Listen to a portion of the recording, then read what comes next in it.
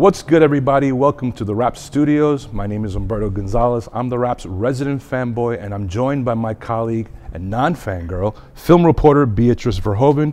We're here to discuss New Line's Shazam, which stars Zachary Levi Yay. as the superhero. I seen it, you seen it. What do you think? You know, I did tweet when I saw the movie that I loved it, it starts off really slow, and for some reason that riled people up. I don't know why. That's like the worst thing I've ever said. Yeah, it has a slow start for the first 20 minutes. It goes very deep into the backstory of a character, and it was very slow. You agree? Yes. Um, but then, you know, the movie kind of makes up for it.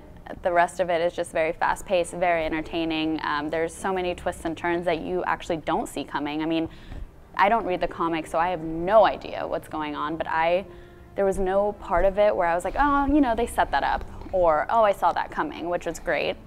Um, do you agree?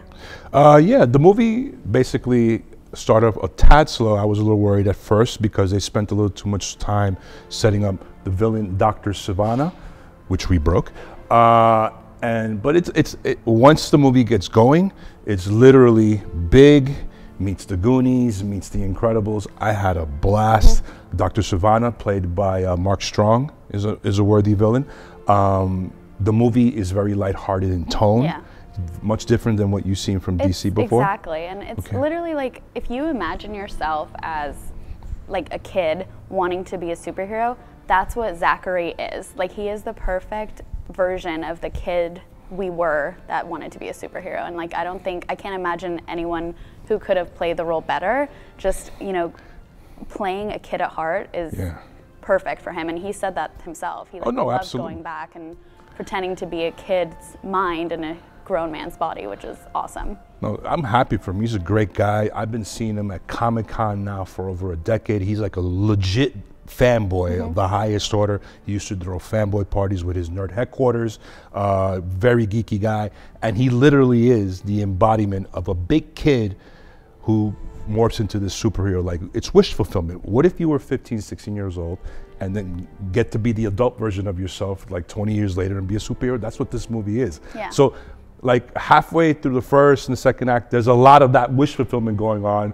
Like little things like they, you know, they do YouTube videos or something, or they do feats of strength or feats of superhero things, and it's hilarious. Angel Asher, who plays the young Billy Batson, is great He's in great. the role. His wingman and bestie, uh, Freddie, played by Jack Dylan Grazer, who you've seen in It, he I think steals the movie with his humor. He's yeah. hilarious, hilarious. It's very similar to what he played in It, which was interesting. Yeah, he's becoming that go-to guy, the wise-ass kid that yeah. you know that talks a lot. For me, the breakout was um, the young girl Darla. Yes, she the sister. The most amazing character. She's the cutest. Like literally throughout the entire movie, whenever she said anything, people all in the audience were like oh, oh my God, she's adorable. And she's just like your cute little wise ass little sister who just wants you to be her friend. And I, she was my favorite. I want to be her friend. Shazam, even as a fanboy, Shazam was considered an obscure character, even for my taste. But Geoff Johns deserves a lot of credit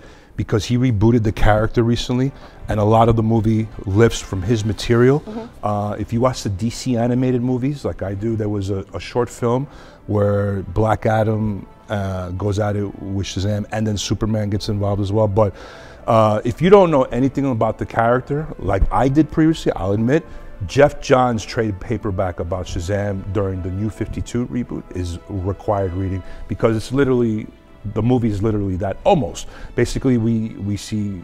I mean, you see it in the promotional materials. Billy Batson's an orphan.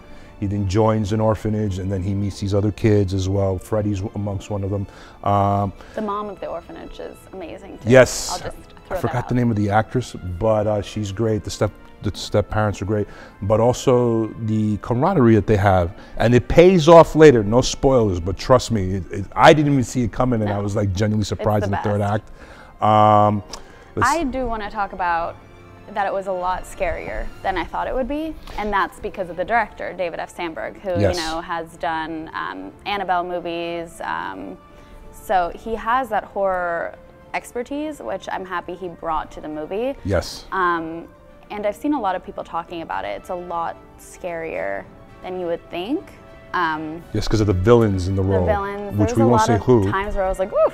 Yeah, no, it could be it, if you have if you're a parent. I'm not a parent, but if you're a parent with minor children, it could be maybe a tad scary film. Also, this is the first I think DC movie where there's not one and but two post-credit sequences. Please be sure to stay, Stay. after the credits roll so you can see the mid-credit sequence and then the second one, which is hilarious. Hilarious. The special effects were great. Yeah, I do have to say, um, even you know the the scary aspect that I mentioned before, that could have really, they could they maybe could have messed it up, but it actually was really good.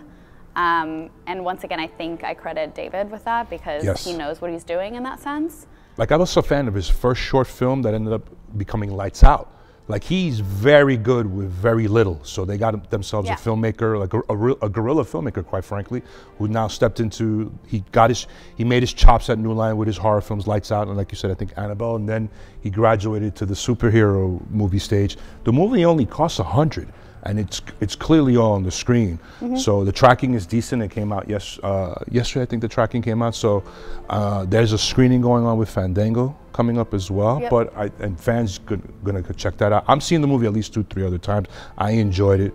You? Yeah, it was very entertaining. I laughed a lot, and I think Yes. that everyone will be pleasantly surprised. DC's obviously going a different direction, exploring all sorts of tones. Like this, Shazam is lighthearted in tone. Joker, which will come out next year, will be obviously v- very dark in tone. Yeah. So looking forward to that. It'll be interesting to see where they where they go from now on. I think. Yeah, no, they, they're exploring they're exploring different different tones for their movies, just like Marvel does, quite frankly. And uh, we're seeing all types of characters. They're they're they're exploring their rich tapestry of characters and seeing which Yeah. ones make the most sense. That's why they're developing a lot more. But I'm I'm confident of the team. That, and we've done reporting uh, of the team currently in place. Walter Hamada um, and his two ex- and his two lieutenants are doing quite, I think, a good job working with filmmakers, finding the right talent in front and behind the camera to service these characters. You know, I'm curious because people have asked me about this on Twitter: Captain Marvel or Shazam? That's a tough one. I'm gonna be brutally honest. I love both, and you can love both, okay? But I gotta give the edge a little bit to Shazam. Okay. Just, just a little. It was just I'll enjoy both, and of course I enjoy Goose the Cat like everybody else. But Shazam kind of. I mean, I'm a DC guy anyway, so I might be a little biased, but uh, I I enjoyed Shazam a tad more. Please don't kill me for that. You? You know what? I'm actually not going to say anything because if I say anything, I'm going to have a feminist agenda. You know who you are, whoever said that to me.